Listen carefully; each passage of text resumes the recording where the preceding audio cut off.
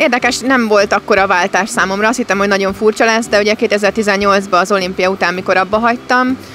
rá körülbelül szerintem alig egy évre elkezdtem edzősködni, és, és, és nagyjából azonnal felvettem a fonalat. Valószínűleg annak is köszönhető, hogy sok fiatal volt a csapatban, és akkor én voltam a rangidős, és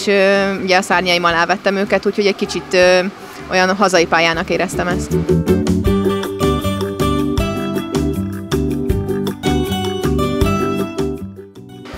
Hát amíg még nagyon picik, főleg ilyen 8-10 évesek, a legfontosabb az, hogy megszeretessük velük a sportot. Nem, ö, azt gondolom, hogy nem szabad nagyon nagy terhet rakni rájuk. Ami nagyon fontos verseny, azt azért ők is érzik, hogy arra azért jobban készülünk mentálisan, és az az országos bajnokság nyilván az ő szintjükön, de például egy 13-14 évesnek már egy Európa kupa is, ugye, ami egy versenysorozat utáni kvalifikációt ö,